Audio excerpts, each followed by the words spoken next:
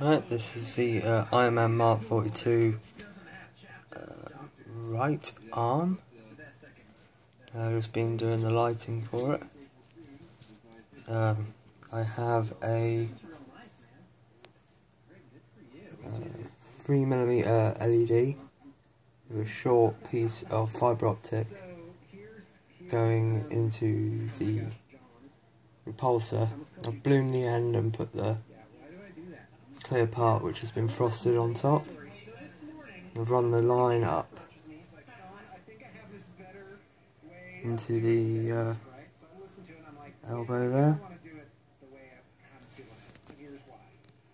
and uh, it's hooked up to a power supply so I'm just going to test it.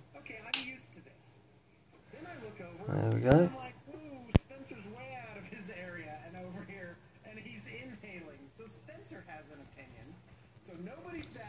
Uh, I've got to do some uh, light blocking.